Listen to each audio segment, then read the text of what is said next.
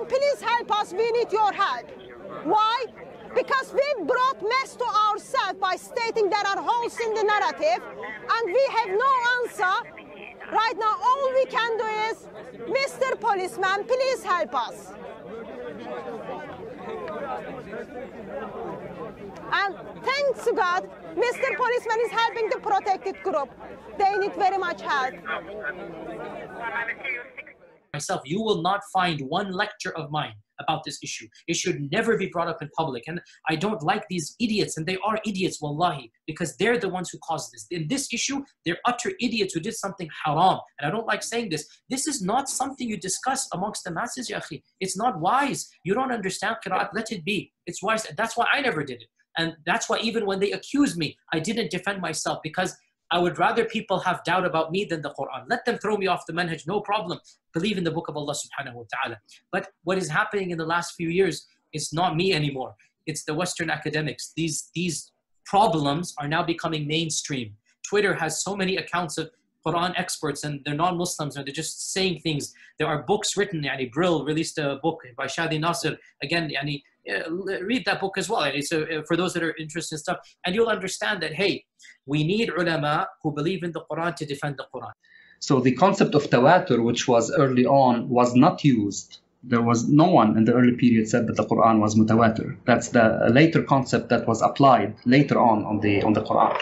Even people like Ibn Mujahid or Tabari, they never used this term to describe the Quran. It was used by the people of Usul al-Fiqh and theologians because you need the Quran. Uh, the Quran is the most important document in Islam, and you derive, you know, it's the first principle, you know, in, in Usul al-Fiqh, the, the first source. And if you don't have an authentic transmitted Quran uh, in all its details, then you have a problem. You have a problem from the premise.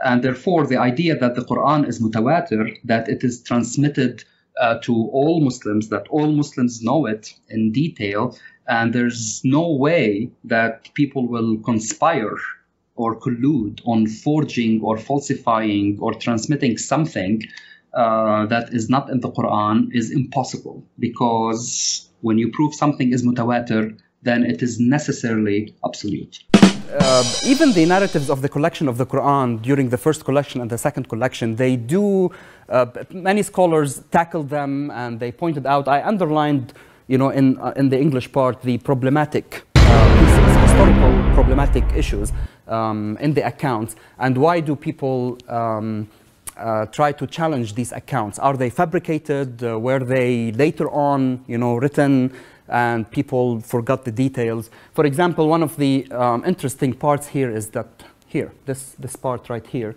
which in English, you know, it says, for example, when the first collection of the Quran took place, um, the man who was responsible for, who was the head of the committee, uh, again, um, I mean, put this in parallel with the idea that the Quran was transmitted to everyone and everyone knew all the information or all the Quran, and it was mutawatir, as we say. But then in this account, and this account is the official narrative, this is from one of the um, canonical traditions of the, Prophet, the Bukhari. Okay, so this is the uh, canonical um, account of the transmission of the Quran from the Muslim tradition. It says that um, there were two verses from the Quran that he did not find with anyone else, and they were only with one specific companion. Okay, um, he's relocating the parchments and poems from the uh, memories of man who knew it by heart. And then I found with Khuzaima, that's the name of the person, two verses of, from Surah At-Tawbah, which I had not found with anyone else. Okay? Again, we have to ask ourselves, so why these two men had two verses from the Quran that no one else from the companions of the Prophet had? Okay? So what happened to the idea that the Quran actually was transmitted to everyone and everyone knew the Quran by heart?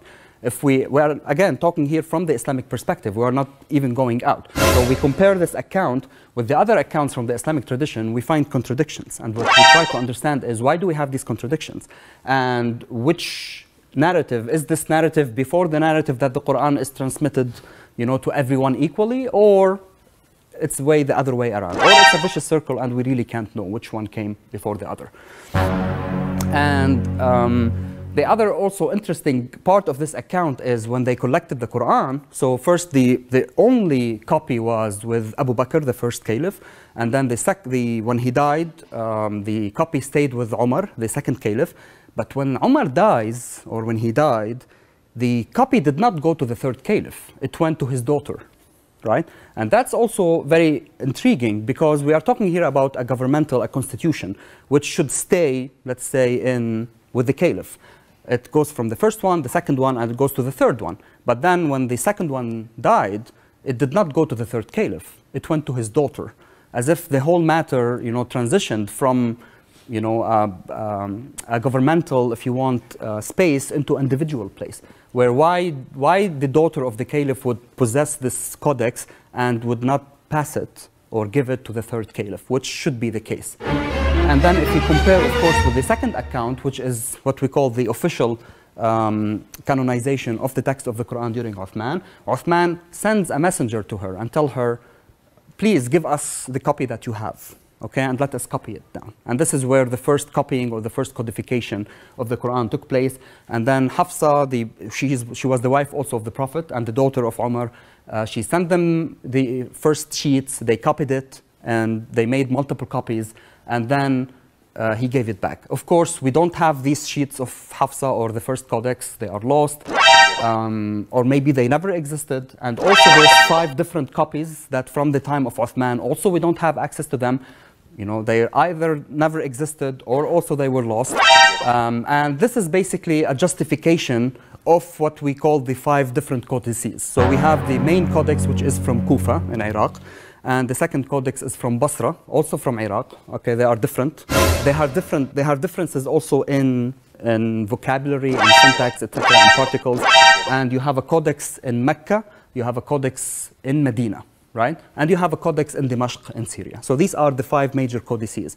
And uh, in Kufa, you have one codex, but there are three different readings in Kufa, and this is what makes seven in total. So three from Kufa, one from Syria, one from Mecca, one from Medina, and one from Basra, and these are seven.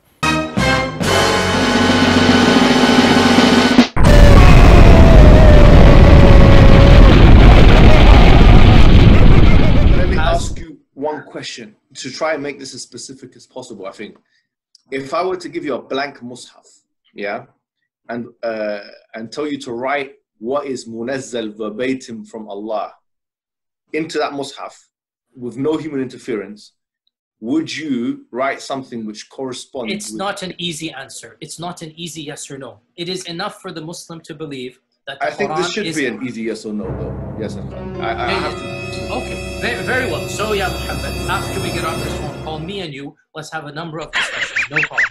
I'm very open with advanced students. I challenge you, go to France. Go to France and wear that. I challenge you, go to France and wear that. Who do you think you can challenge? Go to France and wear that. I'm wearing Walk down the Champs-Elysees wearing that shirt. here. That's not your business. Say no more. Come It's not your business. I am not Muhammad. She's a witch. I am not Muhammad. You're not Mohammed. I'm not Muhammad. what is Muhammad this, is the man? bitch من or أمة witch. سيدنا محمد أنت من أمة سيدنا محمد How are you just كلنا standing next to the person like this? You guys alright, bro? You guys alright? Get your camera out of my face, man. Get your camera out of my face. Get your camera out of my face. How do you stand next to a person like this? How? How?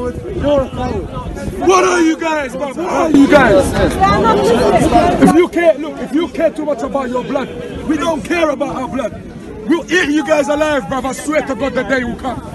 On my mother's life, bruv. Allah will eat you guys alive, bruv. You can't do anything. Come on, get out the pot, get out the pot, come on. Take her out the pot, let's go. Can I give that to you? Go, go, go Get out out. Out, out, out, go out, go out, go out, go out, go out, go out. Can we have some more units? Go out. Don't fuck your mom. Take off outside. coming down, yeah? Take off outside, outside. No, no, no. Let's, let's, everyone's over here. Can you just move back a bit to give us some room, yeah? Thank you. Get her out of here. Come on, Hector, let's just go over. Let's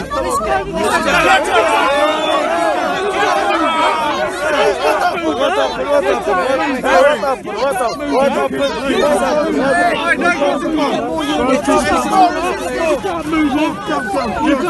Calm down.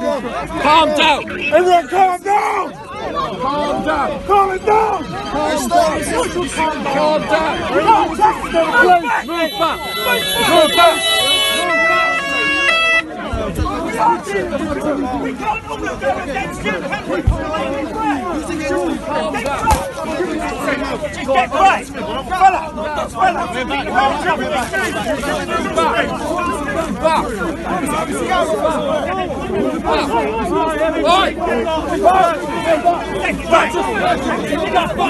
Get back! Everybody away! Get back! Hey, what are you giggling for? Like you're just kidding. Giggle. Yeah, giggle. Come on, Hey, mate. small man. Hey, hey. Just move it back. You've got to take it off. You've got to take it off. Look, that's I understand, I'm trying to do that. You're all Guys, coming down.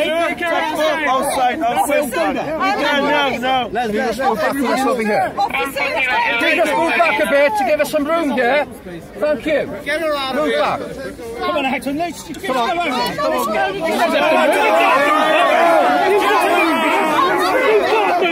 You can't move back. Hey, get back, get back. You can't Get more units. You can't move back. You can't move back.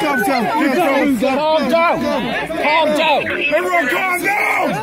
Calm down. Calm down. Calm down. Calm down. Move back. Move back. Move back. Take off. Take off his picture. Don't take it off. Take it off. Take it off. Put, put something in your mouth. Get right! Fella! That's fella! Get your hands off him! What are you going to do? No, allow it. No, allow it. Get back! Get back! Get back!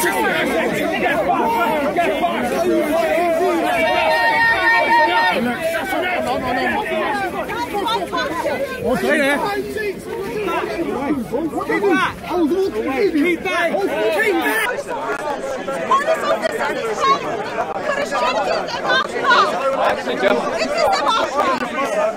the Father loved you and he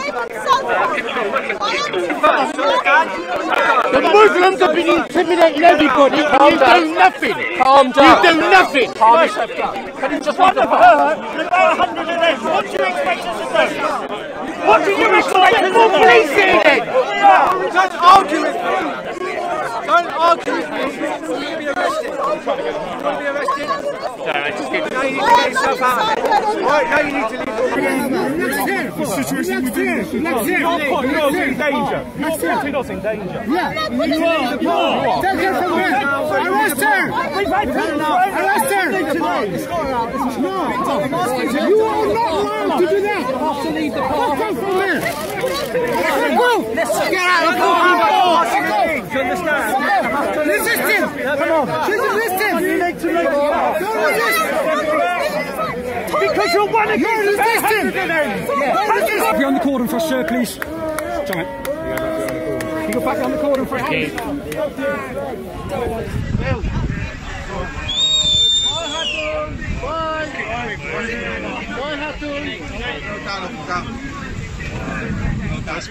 No, Charing Cross. You coward! You hate preacher! You hate preacher! That's what you are! You're a hate preacher! You coward, little intellectual midget! You're intellectually uncircumcised! Here's the problem. Approximately a year ago, it was Muslims who told us there are holes in the narrative. You see, in a Muslim environment, there's always some respect that we have for the Quran. We should. In a Muslim environment, we'll press a little bit and then we'll say, okay, khalas, sami'na wa ata'na. And that's great, alhamdulillah. When you go to academia, they don't have that red line. And they're gonna just, you know, the, the, the, the famous story of the emperor with no clothes. Gonna just point out, no, that doesn't make any sense. Well, that's not true, and this and that. And they'll bring issues, which I'm not gonna mention explicitly, that you know are true because they're in your own books. They're not inventing anything new. They'll bring you riwayat and they'll bring you athar, and then you add to that very well-known issues of I don't even want to be explicit. And then you bring on top of that makhtutat, and then and then. And it's very clear to you and to every single very advanced student and specialist that the standard narrative has holes in it. The standard narrative does not answer some very pressing questions. Okay, this is what I'm going to say. And I, I think here we wait, wait, wait, let, let me finish this, Emma, because this is very important. Very, I, I'll let you kind of let me finish this. And by the way, if you are following online media and articles and whatnot, this is no longer hidden news. More and more professors and academics are writing stuff, and it's being publicized on Twitter in the last two, three years. I have had at least, I'd say, a dozen people tweet at me like specific articles like how do you answer this? And you know about ulum al-quran about qira'at about makhtutat about uh, issues you know? These are now well known within the western uh, academy uh, that they're bringing forth issues. Their level of now knowledge is leaps and bounds above what it used to be you know 100 years ago. Now as for the issue itself every single student of knowledge knows who studies ulum al-quran that the most difficult topics are ahruf and qira'at and the concept of ahruf and the reality of ahruf and the relationship of the Uthmanic Mus'haf with the ahruf and the preservation of the ahruf. Is it one? Is it three? Is it seven? And the relationship of the qira'at to the ahruf. This is a topic that when you're the beginning, beginning student of knowledge, you're like, what is all of this going on here? When you go a little bit more, you learn to simply memorize what your teachers say and regurgitate it out. And you don't fully comprehend. When you do a deep dive, is when things get very, very awkward and difficult. And this isn't new. This is from the time of the Sahaba. In the Sahih or the Hasan Hadith of Ubay bin Ka'b, the Hadith of the Ahruf, that when the Prophet ﷺ mentioned the issue of Ahruf and that there are different Ahruf and whatnot, this is in the version of Muslim Imam Ahmad. Ubay bin Ka'b says, authentic Hadith, فَدَخَلَ فِي نَفْسِي شَكْ In my heart, a doubt came that I hadn't had about Islam since the days of Jahiliyyah. This is not a joke, brothers and sisters.